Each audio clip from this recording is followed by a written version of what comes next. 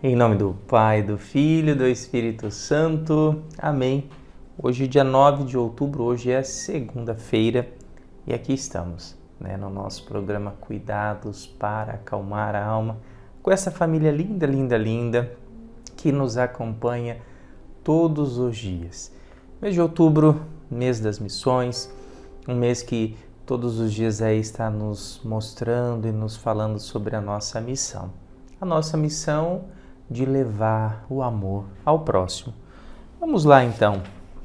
O evangelho de hoje é de São Lucas, capítulo 10, versículos de 25 a 37.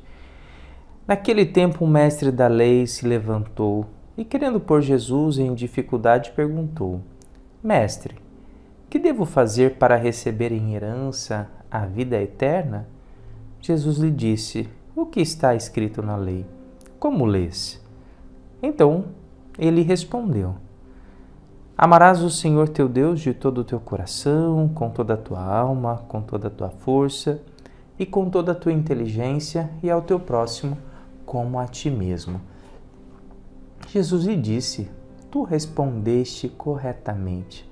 Faze isso e viverás. Ele, porém, querendo justificar-se, disse a Jesus: E quem é o meu próximo? Jesus respondeu: Certo homem descia de Jerusalém para Jericó e caiu nas mãos de assaltantes. Estes arrancaram-lhe tudo, espancaram-no e foram-se embora, deixando-o quase morto. Por acaso, um sacerdote estava descendo por aquele caminho. Quando viu o homem, seguiu adiante pelo outro lado. O mesmo aconteceu com um levita. Chegou ao lugar, viu o homem e seguiu adiante pelo outro lado. Mas um samaritano que estava viajando chegou perto dele, viu e sentiu compaixão. Aproximou-se dele e fez curativos, derramando óleo e vinho nas feridas. Depois colocou o homem em seu próprio animal e levou-o a uma pensão, onde cuidou dele. No dia seguinte, Pegou duas moedas de prata e entregou-as ao dono da pensão, recomendando: Toma conta dele. Quando eu voltar, vou pagar o que tiveres gasto a mais. E Jesus perguntou: Na tua opinião, qual dos três foi o próximo do homem que caiu nas mãos dos assaltantes? Ele respondeu: Aquele que usou de misericórdia para com ele. Então Jesus lhe disse: Vai e faze a mesma coisa. Palavra da salvação. Glória a vós, Senhor. O, o Evangelho de hoje vem falar sobre o amor ao próximo. Que próximo que é esse, né? Quem é o próximo que nós devemos amar? Então, o mestre da lei pergunta para Jesus qual, né? É, como fala? Que devo fazer para receber em herança a vida eterna? É um questionamento que todos nós temos. Será que com a vida que eu levo eu vou morar no céu? Será que, né, aquilo que eu já escrevi nas páginas da minha vida, eu vou morar no céu? Não sei se você já, né, se fez esta pergunta, se você já já, já, já se questionou sobre isso, mas é um questionamento que, que muitas vezes eu acabo ali tendo na, na, nas confissões que eu atendo. Será que eu vou morar no céu? Será que eu vou para o céu, padre?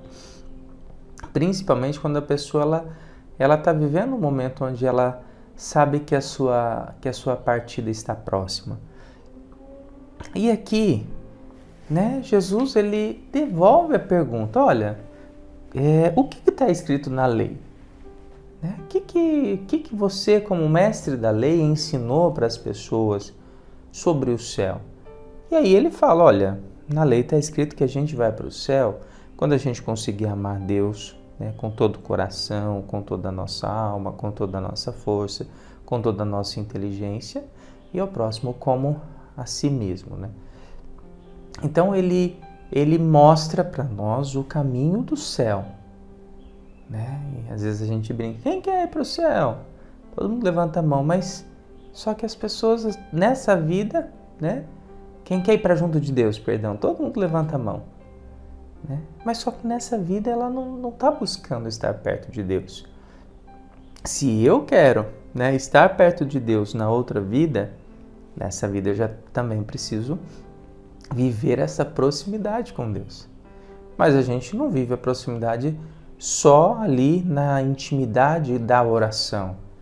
Nós vivemos uma proximidade também através do próximo. E é por isso que a lei, ela vem muito clara o amor a Deus caminhando junto com o amor ao próximo. Mas aí pergunta, mas quem que é o próximo? E aí ele conta, olha, tinha um homem que né, foi roubado no meio do caminho, bateram, quase mataram ele, deixou jogado no chão. Passou um sacerdote, né, passou ali um, um, um, um levita, né, passou ali, passaram ali pessoas que eram de Deus, pessoas que trabalhavam para Deus mas não fizeram nada. Então é como se ele dissesse: ó, passaram ali pessoas que talvez demonstravam amor só a Deus, mas não demonstravam amor ao próximo. Mas passou um samaritano. E esse samaritano ele olha para aquele homem e ele sente compaixão. É, é muito bonito porque a compaixão é um sentimento muito profundo e que só é possível para corações que sabem amar de verdade. Porque compaixão é você sofrer com a dor da outra pessoa. Você saberá se você tem compaixão quando a dor da outra pessoa te leva a sofrer. Mas não aquele sofrimento de, de sofrimento de assim, nossa, fiquei com uma dosinha, fiquei com uma pena. Não não, né? Um sofrimento que te leva a um movimento, um sofrimento que te leva a um, um compromisso com o outro. No entanto, aquele homem, diante, movido pela compaixão, para ali a viagem que ele estava fazendo, vai cuidar daquele homem, se aproxima ali de uma hospedaria, né? É, hospeda esse homem nessa hospedaria, cuida de suas feridas e ainda vai embora e deixa alguém cuidando e diz: Olha, o que vocês gastarem com ele, depois eu vou pagar. Isso é compaixão. Isso é amar o próximo. É você cuidar do próximo, é você se responsabilizar pela dor do próximo. Eu trabalho num hospital que eu falo que ele só existe por causa desse mandamento. Porque milhares de pessoas espalhadas por esse Brasil, até mesmo fora do Brasil, ajudaram e continuam ajudando essa obra. Continuam ajudando essa obra que só salva vidas. Né? E, e por que, que elas ajudaram e ajudam? Porque tem amor ao próximo, porque sente compaixão, porque quer fazer alguma coisa pelo outro. Né?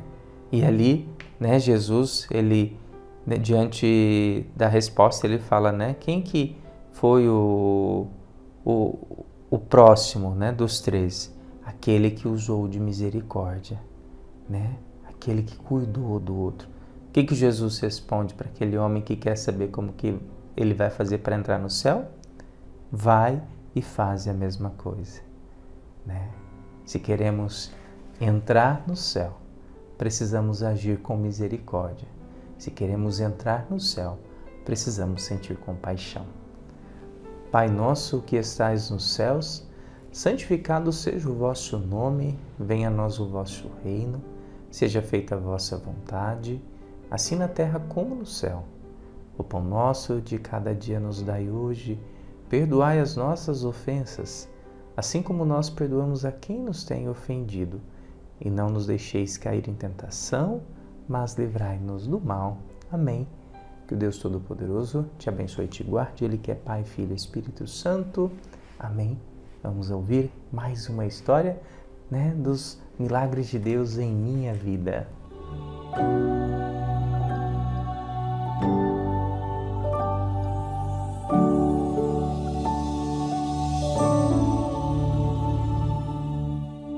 E aqui vamos nós para mais uma maravilha que Deus realizou na vida de alguém muito especial. Hoje, quem vai contar a sua história para nós é a Maria Angélica. Né? Na verdade, ela é a minha tia. Né? E eu tô, tenho um prazer, uma alegria muito grande de contar um milagre, uma bênção que Deus realizou em alguém da minha família. Né? Meu nome é Maria Angélica, sou esposa do Júlio que é tio do nosso abençoado Padre Túlio. Em novembro de 2012, eu e o Júlio dissemos nosso sim a Deus e o Padre Túlio celebrou nosso casamento.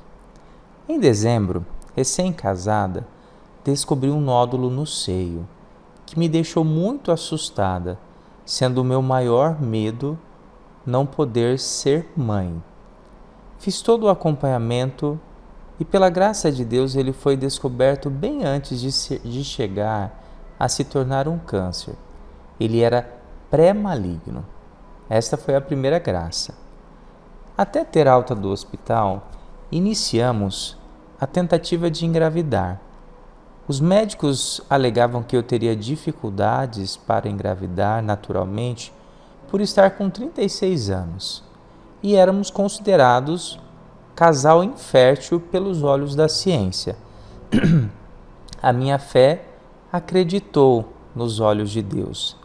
Levamos quatro anos para alcançar a graça e eu engravidei aos 40 anos de forma natural.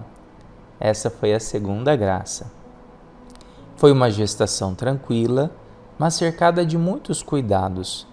No terceiro mês de gestação, descobri que eu era uma gestante com risco para trombofilia, uma das maiores causas de aborto espontâneo.